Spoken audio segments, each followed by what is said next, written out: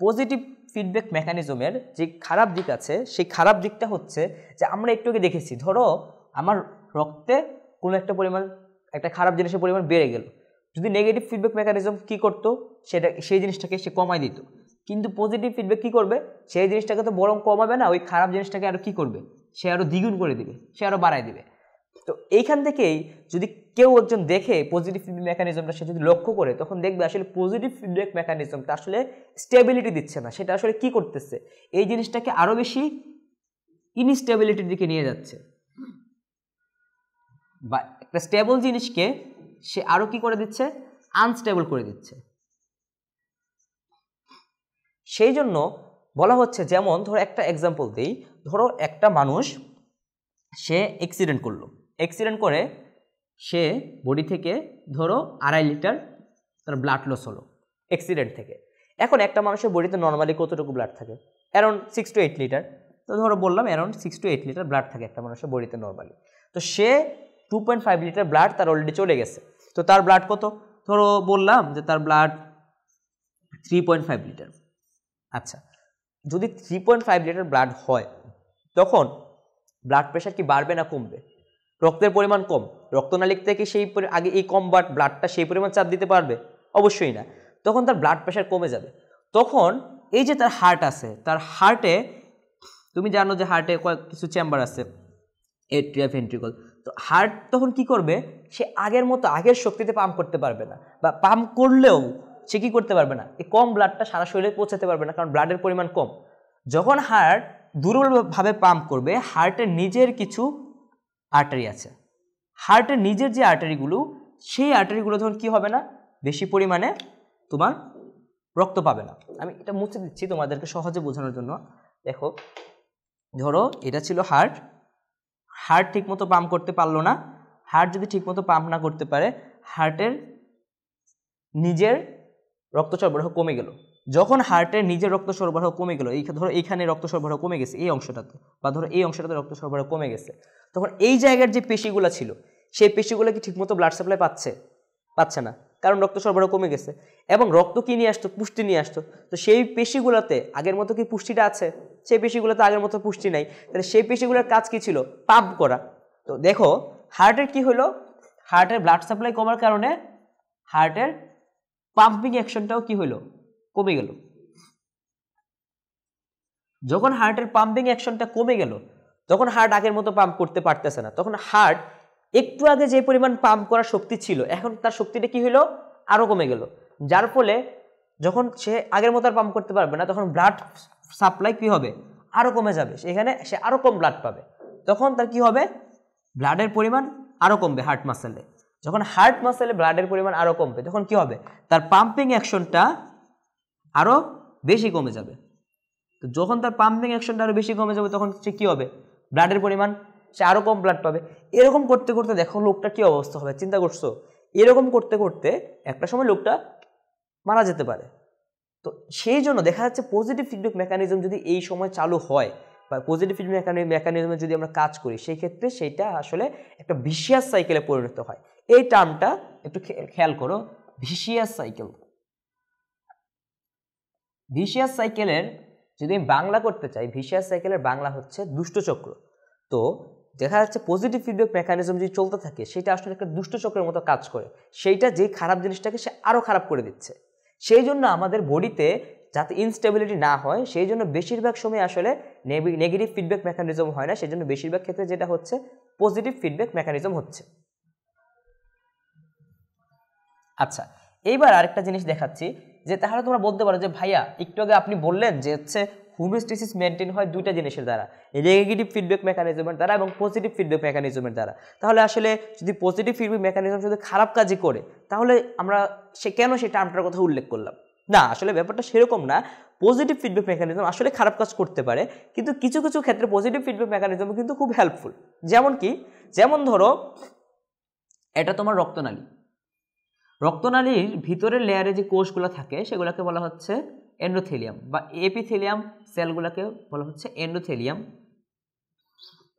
Normally endothelium সেলগুলো এরকম সাজানো থাকে এবং এর সাথে কোনো থ্রম্বোসাইট বা কোনো প্লেটলেট সেখানে অ্যাটাচমেন্ট হয় না। কিন্তু যদি তোমার কোনো কারণে কোনো, ধরো তোমার একটা ইঞ্জুরি হলো, ধরো এই জায়গাতে তোমার একটা ইঞ্জুরি হলো। ইঞ্জুরি হওয়ার ফলে কি হবে? এইখানের এই জায়গাটা ধরো তোমার কেটে গেছে।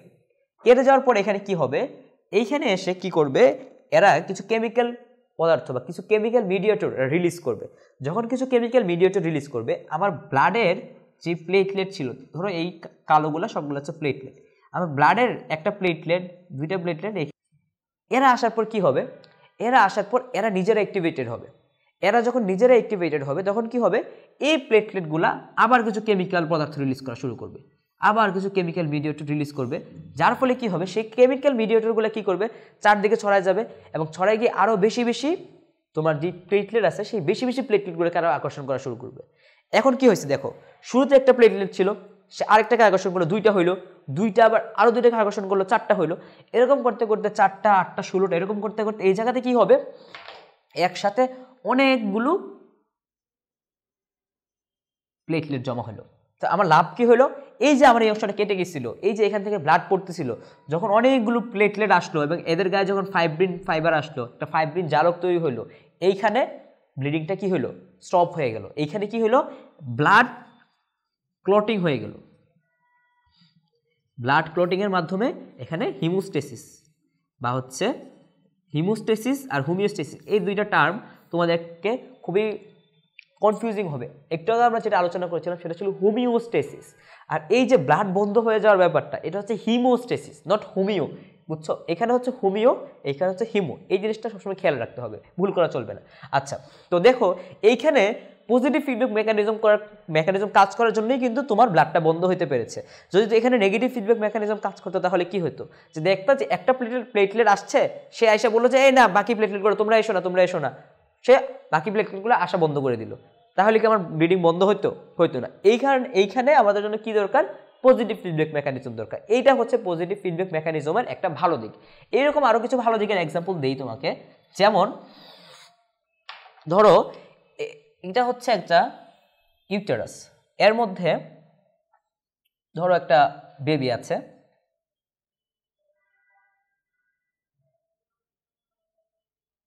ধরো হাত, এটা এটা ধরো হচ্ছে বেবিটার মাথা। আচ্ছা এখন এটা হচ্ছে একটা ইউটেরাস এর মধ্যে একটা বেবি আছে। তো যখন বেবিটা ডেলিভারি হবে বা বেবিটা ডেলিভারি যখন সময় হবে, তখন কি হবে? তখন সেই ইউটেরাসটা চারদিক থেকে কন্ট্রাকশন করবে। মানে কন্ট্রাকশন মানে হচ্ছে সংকুচন করবে। যখন সেই ইউটেরাসটা একটু সংকোচন করবে, তখন বাচ্চার মাথাটা কি এই জায়গায় থাকবে? না। তখন বাচ্চার মাথাটা কি হবে? ধরো বাচ্চার মাথাটা একটু সামনে এগিয়ে আসলো। এগিয়ে এসে বাচ্চার মাথাটা ধরো এই জায়গায় আসছে। তো যখন বাচ্চার মাথাটা যখন এই জায়গায় আসলো, তখন এই জিনিসগুলা সার্ভিক্সের এই পার্টটা ইউটেরাসের নিচের যে অংশটা, সেটাকে বলা হচ্ছে সার্ভিক্স সার্ভিক্সের এই পার্টটা কী হলো? আগের থেকে একটু মোটা হলো। এখন, আগের থেকে একটু মোটা হওয়ার ফলে এইখানে কিছু স্ট্রেচ রিসেপ্টর আছে। সেই স্ট্রেচ রিসেপ্টর মানে কি? যে জিনিসটাকে তুমি টান দিলে, সেই জিনিসটা মানে অ্যাক্টিভেটেড হয়, তখন সেটা কাজ করে। যদি সেটাকে টান না দেওয়া হয়, সেটা কোনো কিছু করবে না। তো যখন এই স্ট্রেচ রিসেপ্টরগুলো অ্যাক্টিভেটেড হয়ে যায়, তখন কি হয় জানো? তখন এই স্ট্রেচ রিসেপ্টরগুলো আবার উপরে সিগন্যাল পাঠায়, আবার উপরে সিগন্যাল পাঠায়। পাঠায় কি করে? বলে যাচ্ছে এই ভাই, তোমরা আরও বেশি কন্ট্রাকশন করো। তখন এখান থেকে কি হয়? কন্ট্রাকশনের লেভেলটা উপরে যখন দেখো, আমি তিনটা তীরচিহ্ন দিয়েছি, এখন আমি ধরো আরও একটা তীরচিহ্ন দিলাম। মানে কি? এরা হচ্ছে আরও জোরে কন্ট্রাকশন করে। যখন এরা আরও জোরে কন্ট্রাকশন করে, তখন কি হয়? বাচ্চার মাথাটা আরেকটু বের হয়। এখন ধরো বাচ্চার মাথাটা আমি আরেকটু বের করে দিচ্ছি। ধরো বাচ্চার মাথাটা হচ্ছে এইখানে। বাচ্চার মাথাটা যখন এইখানে, তখন কি হয়? যে সার্ভিক্সটা আরেকটু প্রসারিত হয় আর নিচের জায়গাটাও আরেকটু প্রসারিত হয়। যখন এর নিচের জায়গাটা আরেকটু প্রসারিত হয়, তখন দেখো উপরের স্ট্রেচ রিসেপ্টরগুলো তো অলরেডি অ্যাক্টিভেশন হয়ে আছে। নিচের স্ট্রেচ রিসেপ্টরগুলো কি হবে? আরও বেশি অ্যাক্টিভেশন হবে, কারণ বাচ্চার মাথাটা আরেকটু এগিয়ে এসেছে। তখন এই সিগন্যালটা আগের আগের মতোই হবে না? আরও বেশি শক্তিশালী হবে। অবশ্যই আরও বেশি শক্তিশালী হবে। যখন আরও বেশি শক্তিশালী সিগন্যাল যাবে, তখন উপর থেকে কন্ট্রাকশনটা কি হবে? আরও জোরে হবে। তখন উপর থেকে যখন এরকম আরও জোরে কন্ট্রাকশন হবে, এরকম একটা সময় কি হবে? বাচ্চাটা ডেলিভারি হয়ে যাবে। তো দেখো যে একটা বেবি বার্থ হওয়ার জন্য যেই প্রসিডিউরটা দরকার, সেটা কোন procedure positive feedback mechanism negative feedback mechanism যদি এখানে কাজ করতো, কি হইতো? যে বাচ্চাটাকে বের করার জন্য একটা সংকোচন করল, করার পরে এখানে স্ট্রেস রিসেপ্টর অ্যাক্টিভেটেড হয়ে সে বলতো যে ভাই, তোমরা কন্ট্রাকশন করছ, তোমরা এবার বসে থাকো কন্ট্রাকশনের কোনো দরকার নেই। তখন বাচ্চারা কোনো সময় ডেলিভারি হওয়া যেত না। এই জন্য এখানে কি দরকার? পজিটিভ ফিডব্যাক মেকানিজম দরকার। আর একটা ফাইনাল এক্সাম্পল দিচ্ছি। সেটা হচ্ছে দেখো, ধরো এটা একটা নার্ভ ফাইবার ধরো এটা হচ্ছে তার এগুলো একজন এগুলো সরি এটা ডেনড্রাইট আর নিচে হচ্ছে এটা একজন এর পাশে ধরো মাইলিন শীত, এগুলো আছে, যাই হোক। তো যখন নার্ভ ফাইবারে কি হয়, বা কোনো একটা নার্ভ ফাইবার যখন অ্যাক্টিভেশন হয়, তখন কি হয়? এইখানে এটাকে ধরো একটু যদি বড় করে দেখাই, ধরো এটা হচ্ছে সেলটার ভিতরের অবস্থা। এইখানে কিছু সোডিয়াম চ্যানেল আছে। এই সবগুলো হচ্ছে সোডিয়াম চ্যানেল চ্যানেল মানে ধরো, এক ধরনের দরজা। মানে এই দরজা দিয়ে শুধু কে ঢুকতে পারবে? সোডিয়াম ঢুকতে পারবে। এখানে অনেক, বেশ কয়েকটা সোডিয়াম চ্যানেল আছে। যখন একটা নার্ভ ইম্পালস আসে, কোনো কারণে ধরো একটা সোডিয়াম চ্যানেল খুলে গেল। তো ধরো এই সোডিয়াম চ্যানেলটা আমি বললাম, এই চ্যানেল সোডিয়াম চ্যানেলটা খুলে গেল। খুলে গেলে কি হবে? বাইরে, আমরা একটু আগে কিন্তু বলেছিলাম যে ইসিএফ এর বাইরে কোনটা থাকে বেশি? সোডিয়াম বেশি থাকে। আর ইসিএফ এর ভি- ভিতরে কি ছিল? আইসিএফ এর বেশি কোনটা ছিল? Pump potassium, magnesium, phosphorus. আচ্ছা তো দেখো, এখন ধরো সোডিয়াম চ্যানেলটা খুলে গেল। খুলে যাওয়ার পরে কী হবে? সোডিয়ামটা ভিতরে ঢুকবে। ঢুকার পর কী হবে? একটা সোডিয়াম চ্যানেল যখন ভিতরে ঢুকবে, এই যে দেখো, আগে বাইরে যেরকম চার্জ ছিল, এখন আরেকটা সোডিয়াম ভিতরে ঢুকলো। চার্জের একটা অসমতা হয়ে গেল না ইমব্যালেন্স হয়ে গেল না। সেখান থেকে কি হবে? সে গিয়ে আরেকটা সোডিয়াম চ্যানেলকে খুলে দিবে। তখন আরেকটা সোডিয়াম চ্যানেল খুললে কি হবে? আরেকটা সোডিয়াম ভিতরে ঢুকলো। সে গিয়ে কী করবে? পরের সোডিয়াম চ্যানেলটা খুলে দিবে। এরকম একটা সোডিয়াম গিয়ে ধরো দু তিনটা করে সোডিয়াম চ্যানেল খুলে দিবে। এরকম কি হবে? তাহলে একটা সবচেয়ে শুরুতে কি এলো, মাত্র একটা সোডিয়াম চ্যানেল খুললো। কিন্তু সেটা কি করল? অনেকগুলো সোডিয়াম চ্যানেল খুলে দিতে সাহায্য করল। তো এর মাধ্যমে কি হলো? এই যে অনেকগুলো সোডিয়াম চ্যানেল যখন একটা সেলের মধ্যে প্রবেশ করল, তখন একটা নার্ভ ইম্পালস তৈরি হয়ে গেল এবং সেই নার্ভ ইম্পালসটা পরবর্তী নার্ভগুলোতে ছড়ায় যেতে পারল। তো দেখো, যদি এই জায়গাতে নেগেটিভ ফিডব্যাক মেকানিজম কাজ করতো, তাহলে কি হইতো? তাহলে কিন্তু হইতো না। তো সেই জন্য এইসব জায়গায় কি দরকার আমার? পজিটিভ ফিডব্যাক মেকানিজম দরকার। এখন, আসলে পজিটিভ ফিডব্যাক মেকানিজম এবং নেগেটিভ ফিডব্যাক মেকানিজম এই দুইটা আসলে কি মিন করতেছে? এই দুইটা বোঝাচ্ছে যে আসলে আমার বডিতে যাতে সেই হোমিওস্টেসিস এই জিনিসটা মেনটেন থাকে। এই জিনিসটা যাতে হোমিওস্টেসিস অবস্থায় যেন আমার বডির সবগুলো জিনিস থাকে। এইখানে আরেকটা টার্ম সম্পর্কে আলোচনা করব। এটা হচ্ছে আমাদের আজকে শেষ টপিক সেটা হচ্ছে গেইন গেইন মানে কি? ধরো, এই যে আমরা সিস্টেমগুলোর কথা বলছি হ্যাঁ এগুলো কাজ করে, কিন্তু দেখা যাচ্ছে এরা কোনো সময় একশো পার্সেন্ট ইফেক্টিভ না। কেন একশো পার্সেন্ট ইফেক্টিভ না? বডির নিজের কিছু লিমিটেশন থাকে, সে একশো পার্সেন্ট তোমাকে কাভার দিতে পারে না। সেইটার এক্সাম্পল দিচ্ছি, ধরো, এটা একটা পার্সন ধরো, এটা একটা মানুষ, ধরো, এটা আরেকটা মানুষ। ধরো, এই যে চুলওয়ালা মানুষটা, তার মেকানিজম কাজ করতেছে, তার negative feedback positive feedback mechanism কাজ করতেছে। এই মানুষটা ধরো কাজ করতেছে না। ধরো এই মানুষটার নাম দিলাম এ তার দিলাম হচ্ছে বি এখন এই লোকটার কোনো মেকানিজম কাজ করে না। তার ব্লাড প্রেশার হচ্ছে একশো বিশ বাই আশি, তারও ব্লাড প্রেশার হচ্ছে একশো বিশ বাই আশি। এখন এই লোকটাকে আমি কি করলাম? এই লোকটার বডিতে আমি ধরো এক লিটার ব্লাড দিয়ে দিলাম। তো এক লিটার ব্লাড হলে কী হবে? ব্লাডের পরিমাণটা একটু বেশি হয়ে গেল। যখন ব্লাডের পরিমাণ একটু বেশি হয়ে যাবে, আমি কিন্তু এক্সাম্পলের জন্য শুধু এক লিটার বললাম, যাই হোক। তো দেখো ব্লাডের পরিমাণ যখন বেশি হয়ে যাবে, তখন কি হবে? রক্তচাপ বেড়ে যাবে, যার ফলে তার ব্লাড প্রেশার ধরো একশো বিশ থেকে তার ব্লাড প্রেশার হয়ে গেল ধরো একশো ষাট। সাপোজ বললাম যে তার ব্লাড প্রেশার হয়ে গেল একশো ষাট বাই, ধরো সাপোজ আশি বললাম, একশো ষাট বাই আশি মিলিমিটার মার্কারি তার কিন্তু কোনো মেকানিজম কাজ করতেছে না। তুমি তাকে ব্লাড দিলে আর তার বেড়ে গেল ব্লাড প্রেশার তার ক্ষেত্রে তো মেকানিজম কাজ করতেছে। তুমি তাকেও এক লিটার ব্লাড দিলে, এই লোকটাকেও এক লিটার ব্লাড দিলা। কিন্তু দেখা গেল তার ব্লাড প্রেশার হইল একশো চল্লিশ বাই আশি মিলিমিটার মার্কারি এখন দেখো, এই লোকটা কিন্তু নেগেটিভ ফিডব্যাক মেকানিজম কাজ করতেছিল। এবং আমরা কি পড়ে আসছি যে নেগেটিভ ফিডব্যাক মেকানিজম কি করবে? যে জিনিসটা বাড়ে, সেটাকে বাড়তে দিবে না, কমায় দিবে। এটা বাড়ার কথা ছিল সেটাকে কমায় একদম নর্মাল অবস্থায় নিয়ে আসবে। কিন্তু দেখো, সে কি নর্মাল অবস্থায় আনতে পারল? সে কিন্তু পারল না। সে কত ছিল? আগে ছিল একশো বিশ, সে বাড়াইলো চল্লিশ। কিন্তু সে একশো ষাট করে নাই, কিন্তু সে কিন্তু আবার একশো বিশও করতে পারে নাই। তাহলে সে কতটুকু ঠিক করল? তাহলে তুমি চিন্তা করো কতটুকু ঠিক করল? যে কাজ না করলে হয়তো একশো ষাট, কাজ করার পরে হয়েছে একশো চল্লিশ। তার মানে কতটুকু পার্থক্য? বিশ। তাহলে তার কারেকশন কতটুকু? সে কতটুকু কারেক্ট করতে পারল? কারেকশন যদি আমরা বলতে চাই কারেকশন হচ্ছে বিশ মিলিমিটার মার্কারি আচ্ছা এখন বলো, সে কতটুকু ঠিক করতে পারে নাই?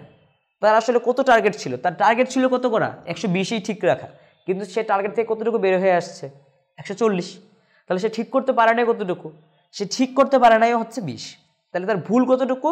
তার ভুল এরর তার এরর হচ্ছে বিশ মিলিমিটার মার্কারি তো দেখো, তার কারেক্ট সে কারেক্ট করতে পারছে বিশ, সে একশো ষাট না করে একশো চল্লিশ করছে, কিন্তু সে ভুলও করছে বিশ। সে একশো বিশে নিতে পারে নাই, সে একশো চল্লিশে রেখে দিচ্ছে। যার ফলে আমরা কি বলতে পারি যে আসলে নেগেটিভ ফিডব্যাক মেকানিজম একশো পার্সেন্ট ইফেক্টিভ হয় নাই? এখন কত পার্সেন্ট ইফেক্টিভ হয়েছে সেটা বোঝার জন্য আমাদের একটা ইকুয়েশন আছে। ইকুয়েশনটা কি? ইকুয়েশন হচ্ছে gain is equal to correction divide by হচ্ছে এরর তাহলে কারেক্ট কত করতে পারছিল বিশ। ভুল কত করেছে বিশ। তাহলে আমাদের গেইন কত? ওয়ান এখন বলা যায় যেই সিস্টেম যার গেইন যত বেশি, ওই সিস্টেমটা তত বেশি ভালো। তোমার বডির মধ্যে ব্লাড প্রেশারের মিজারিংয়ের জন্য অনেক সিস্টেম আছে। আমরা একটুকে কার্বন ডাইঅক্সাইডের উদাহরণ দিয়েছিলাম, সেটার জন্য সিস্টেম আছে। পানি কমানো, বাড়ানোর জন্য সিস্টেম আছে। আমাদের টেম্পারেচার মেনটেন করার জন্য সিস্টেম আছে। এরকম অনেক ধরনের সিস্টেম আমাদের বডিতে আছে। কিন্তু এর মধ্যে যার গেইন সবচেয়ে বেশি, তার এফেক্টিভিটি সবচেয়ে বেশি। এবং সে সবচেয়ে বেশি সে ইফেক্টিভ এবং সে কী করতে পারবে? বডির হোমিওস্টেসিসটা সে তত বেশি ভালো মেনটেন করতে পারবে। ঠিক আছে? তো চলো আমরা একটু রিভিশন দিই যে আজকে আমরা কী কী পড়লাম। আমরা যদি বলি, শুরুতে আমরা কি পড়লাম?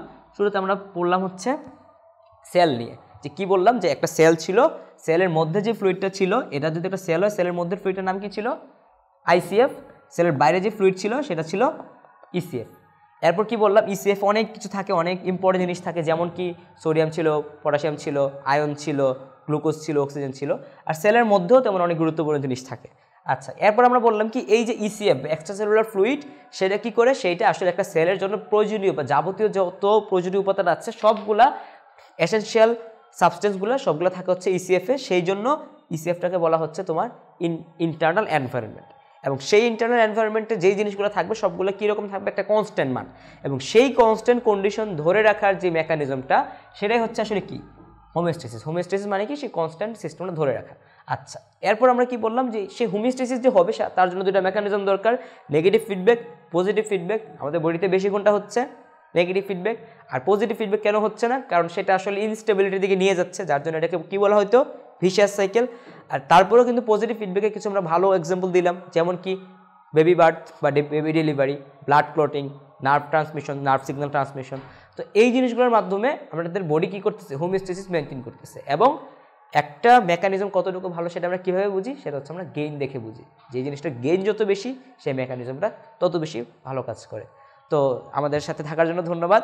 ইনশাল্লাহ বাকি আবার দেখা হবে। ইনশাল্লাহ এবং হচ্ছে যে আমাদের বাকি আইটেমগুলো নিয়ে ইনশাল্লাহ পরবর্তীতে আরও অনেক ভিডিও আসবে। ঠিক আছে? দেখতে থাকো ইনশাল্লাহ আল্লাহ হাফিজ।